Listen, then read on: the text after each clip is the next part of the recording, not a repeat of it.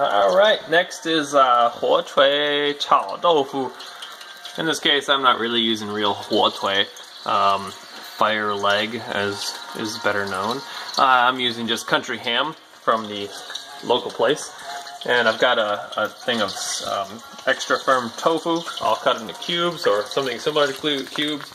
I'll throw a piece in there so I can listen to the heat rise. And one pepper. I'm gonna throw this all in there pretty quick and uh, you do not want to add salt. You really don't want to add anything else to it because the huotui, I'm sorry, the country ham has so much salt in it and extra taste that it's pretty much going to take over the taste of all this together.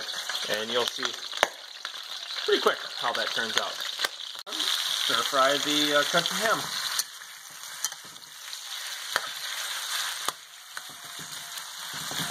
I want to get those pieces apart pretty well.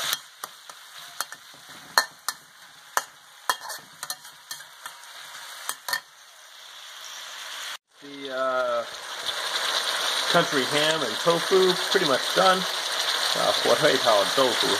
And uh, I'm going to be removing it in a moment after I'm sure that all the meat has been thoroughly cooked. And uh, in a serving plate. And, you know, it doesn't take, it takes a day or two to eat it, maybe three. And that's why I always use these little Pyrex, you know, they're kind of nice little containers. with a cover on top. And because you're uh, not using plastic on it, you're actually saving yourself from all kinds of chemicals that would leach into the food from the plastics when you reheat it.